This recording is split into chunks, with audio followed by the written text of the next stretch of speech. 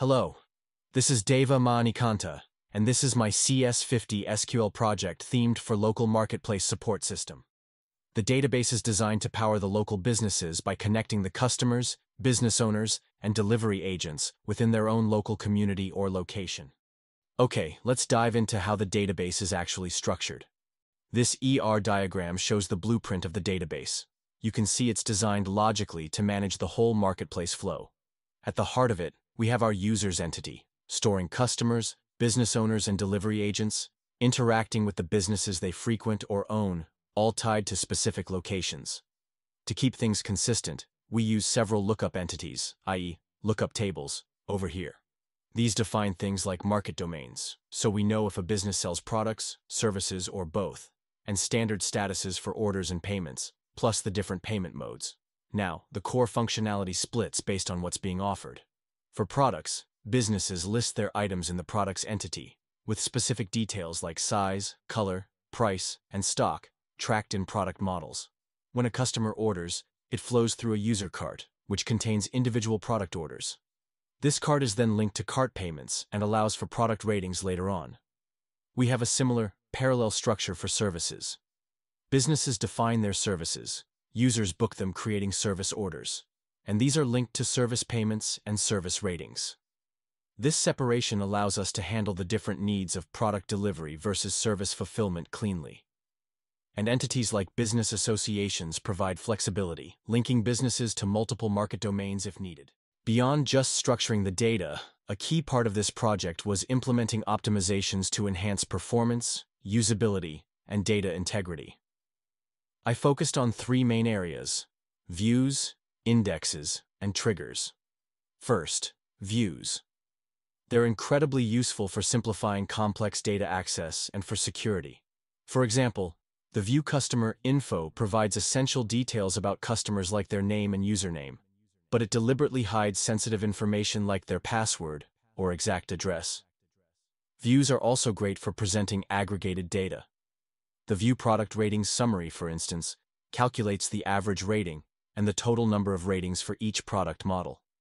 This means the application can easily display popular products without needing to run complex aggregation queries every single time.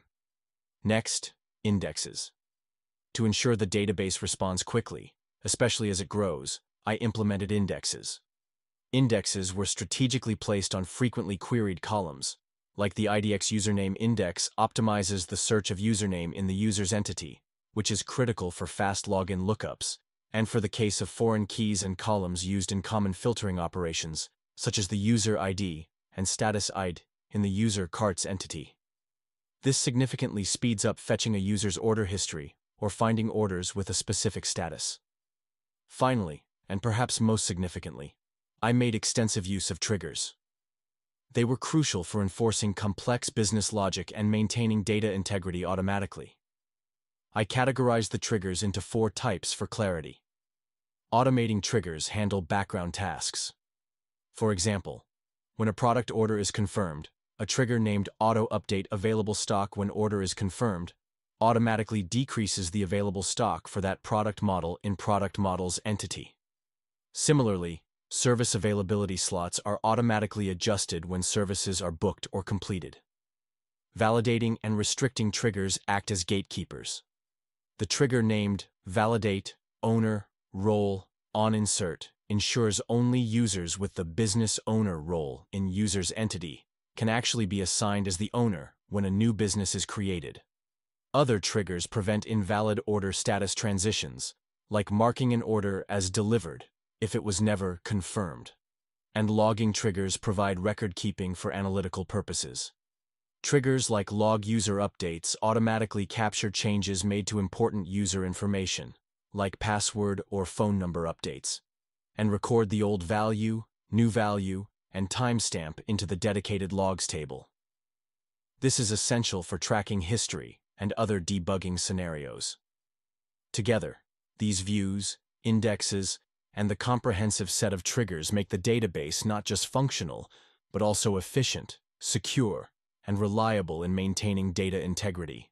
While the optimizations significantly enhance the system's capabilities, it's important to acknowledge a few limitations. Critically, the password storage shown here requires proper hashing for real-world security. The current design also assumes single business owners and utilizes foundational logic for inventory and service slots, omitting advanced features like user-to-user messaging or complex logistics such as route optimization. Despite these scope boundaries, the schema demonstrates a comprehensive approach to database design.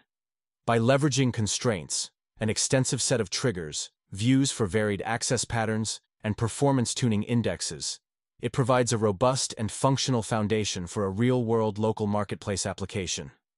I appreciate your time viewing this slightly extended overview. Thank you for watching.